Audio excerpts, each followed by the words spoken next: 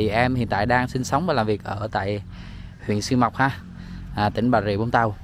Thì à, em điền chuyên à, bán những sản phẩm à, bất động sản dưới khu vực à, huyện Xuyên Mộc.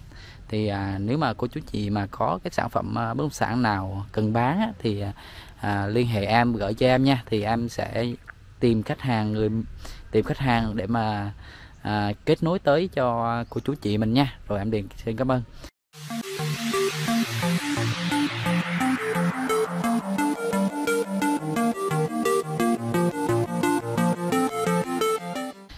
Hiện tại em đi đang có mặt ở tại à, xã Xuyên Mộc, huyện Xuyên Mộc, tỉnh Bà Rịa Vũng Tàu anh chị. À, nay em đi xin giới thiệu tới à, cô chú chị một bất sản à, rất là rẻ ha, tài chính khoảng dưới 1 tỷ thôi ha.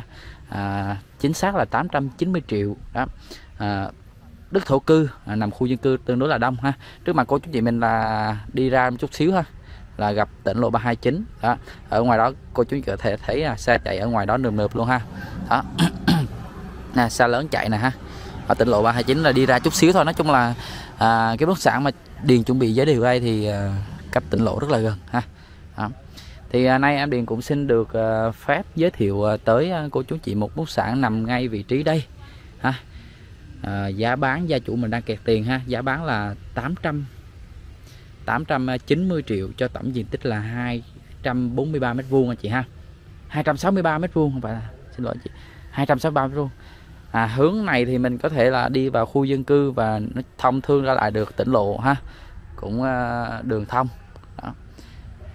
À, trước khi vào à, giới thiệu à, bất động sản thì em à, giới thiệu sơ ha. Thì vị trí này mà đi ra à, à, ngã tư xuyên mộc cũng như là chợ xuyên mộc đó thì à, khoảng đâu đó là một cây số anh chị ha.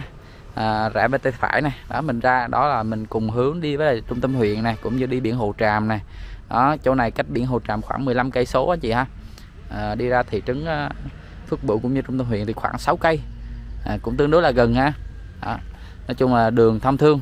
Tỉnh lộ 329 thì anh chị biết rồi. À, đi giao thẳng đi đi thẳng ra ngoài thị trấn và giao với lại à, quốc lộ 55 đó chị ha. Còn à, rẽ hướng ngược lại mình sẽ đi vào hòa hội hòa hiệp. Đó. Rồi bây giờ em điền à, à, quay lại vấn đề chính. Em đi xây dựng vào bất động sản ha. Thì à, bất động sản mình thì cách cái đường nhựa mà hồi nãy em điền quay đấy ha là đi vô khoảng vài chục mét thôi là tới bất động sản mình rồi ha. Thì hiện tại bất động sản mình đang là đường đá mi anh chị.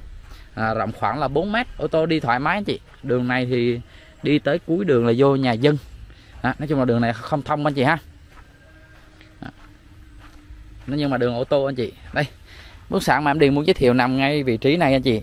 Ngang là 7 mét từ à, ngay cục đá này ha. À, qua bên này là 7 mét. Sâu vào trong giáp tới cái nhà bên kia ha là sau 40 mét có sẵn là 80 thổ cư. Đó. Đức phun hồng anh chị ha mình có thể lên thêm thổ cư vẫn được. Đó. nói chung là 80 thổ cư thì tha hồ xây dựng ra anh chị. Đức nông thôn thì ờ, cũng không cần xin giấy phép xây dựng gì đó anh chị ha. À, thổ, có thổ cư là thay thoải mái anh chị. Đó.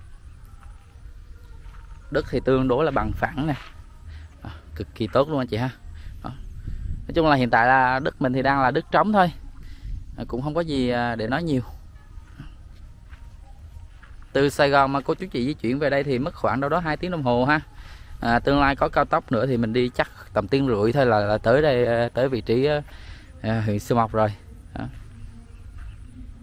À, em điền nghĩ là bất sản này sẽ thích hợp tới cho cô chú chị nào mà đang có tài chính thấp này hoặc là đang muốn sở hữu một bất sản mà dưới 1 tỷ để mà à, làm một cái nhà an cư lạc nghiệp dưới này. Hoặc là có thể là có một tài chính nhỏ mà muốn đầu tư thì em nghĩ là cái bất sản này cũng khá là thích hợp anh chị ha. Nằm khu dân cư nói chung là bán kính tiện ích tiền nghi thì khoảng là một cây số. À, ra ngay ra ngay à, ngã tư xuyên mộc thì dường như gặp uh, trung tâm đó rồi trung tâm xã rồi.